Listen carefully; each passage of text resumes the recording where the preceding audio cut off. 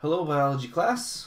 Welcome back to the next lecture. This is lesson four. As you can see from the screen, uh, it is the stomach. So this is the fourth fourth lesson of this unit digestion. Uh, we have the key points above me: one sphincters, two stomach sections, three rugae, and four cell types.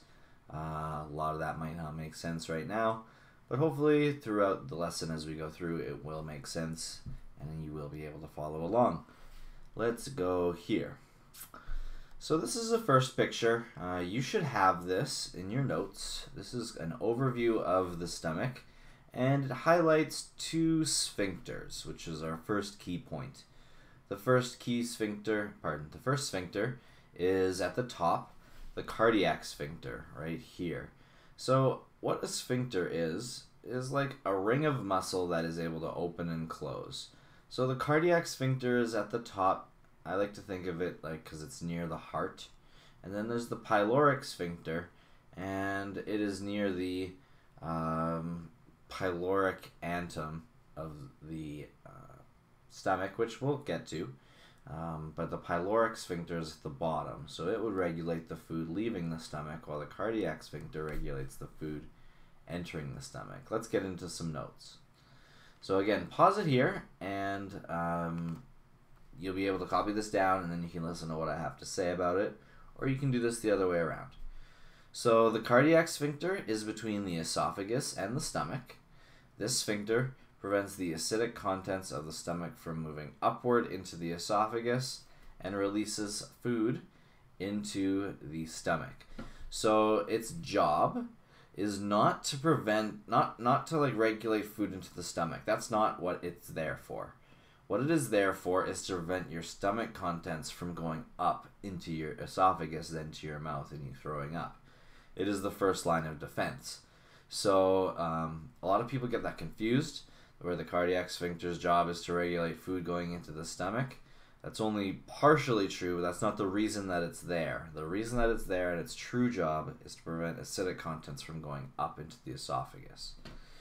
And then there's the pyloric sphincter, which is at the bottom, and its job is to regulate uh, how much moves from the stomach into the small intestine. It acts as a valve to control the flow of partially digested food from the stomach into the small intestine kind of don't want to let too much at once. You want to let it out in bursts so that you can release your gastric juices in bursts to break that all down. So it is a regulator for what is allowed out of the stomach. That is its job. So that gets a little bit confusing. Cardiac is at the top, pyloric is at the bottom of the stomach. So that is key point one with sphincters. We'll now get into the sections of the stomach, and I believe you have this in your notes as well. Uh, the very top section where the cardiac sphincter is is known as the cardia. So I'm going to flip back and forth here. Make sure you pause and get this down. Uh, so the cardia is this section at the top of the stomach where the cardiac sphincter is. So that is part one of the stomach. We also have the fundus. Now, if we see from both of our diagrams, there's a curved upper part. So the stomach goes up a little bit, and it is this upper part here that is the fundus. If I was going to show you on this other diagram, it would be this part right here that is the fundus. It is the part that goes up and over the cardiac sphincter. So I might even include this right here. All that part would be the fundus and it allows space for expansion and if it gets full of liquids you are going to then be uh, food or liquid you're going to then be throwing up the esophagus.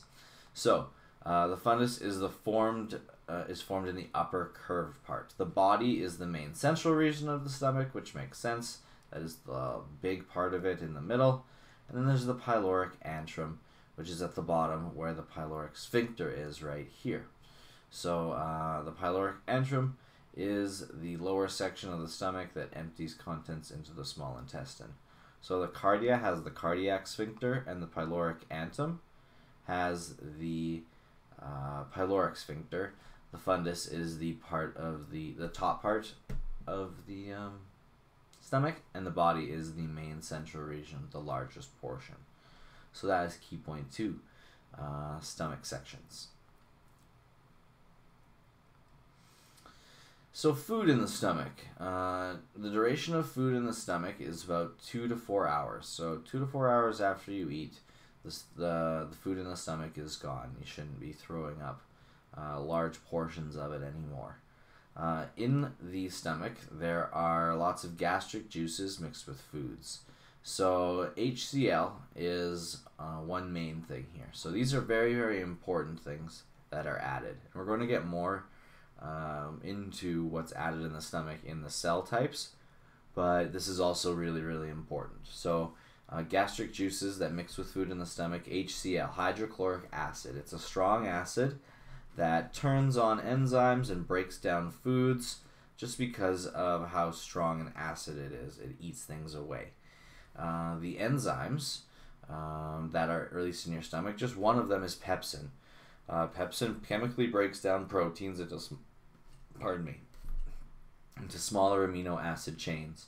Uh, lactase breaks down lactose that we learned from our nutrition unit. Uh, if you're lactose intolerant, you don't have lactase. And mucus is secreted to protect the stomach lining. Uh, so there's lots of stuff going on in the stomach. Uh, food stays there from two to four hours, and during this time you're secreting acid, enzymes, uh, mucus, and a whole bunch of stuff to digest the food. Is really kind of gross when you think about it. So, this is a picture of a completely empty stomach. And what you can see when a stomach is completely empty is that there's a whole bunch of folds. And this uh, set of folds is there for a bunch of reasons. Uh, they are called rugae. So, rugae are the series of ridges produced by the folding of the walls of an organ. So, these are stomach rugae. The purpose of the gastric rugae or the stomach rugae is to allow for expansion of the stomach after the consumption of foods and liquids. So it's all folded up like this so that when you eat food, it can actually expand. It is also able to then uh, contract different parts of the stomach to aid in mixing of food within your stomach. So we call this the gastric or stomach rugae, and it allows for expansion and for mixing uh, of foods and liquids and gastric juices. So um, if your stomach is moving around, it is the rugae that are contracting and relaxing um, and making that noise. So that is key point three. rugae are the folds. So now we're going to get into the types of cells. So there's a few different types of cells, and we've already talked about a few things that are secreted by these cells. But cell type number one are the parietal cells. So parietal cells produce HCl or hydrochloric acid, and these protect the body from bacteria found naturally in food. They break down different uh, foods. They turn on enzymes. So hydrochloric acid also helps to digest proteins by unfolding them so that it's easier for enzymes to digest. So it really works in hand in hand with a lot of different things.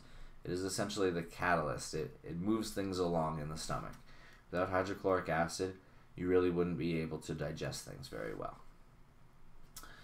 Chief cells is the second type. So parietal cells secrete HCl. Chief cells produce pepsinogen. So pepsinogen turns into pepsin uh, to become activated. Uh, because uh, pepsin would destroy the chief cells that produce it, it is secreted in its inactive form, pepsinogen. So essentially, there is this enzyme that you need to break down food, but it is so toxic that the, if the cells were to produce it, they would just eat themselves away, and that would not work because you need to keep producing this. So what they do instead is they produce this enzyme called pepsinogen, and it is inactive. Once it is secreted, it gets turned into pepsin, which makes it active. So the protein, this is the bottom point, the protein digesting enzyme pepsin is activated by exposure to hydrochloric acid inside the stomach. So because the parietal cells secrete HCl, the chief cells are able to produce pepsinogen, which when it touches HCl becomes pepsin and then is able to do the job.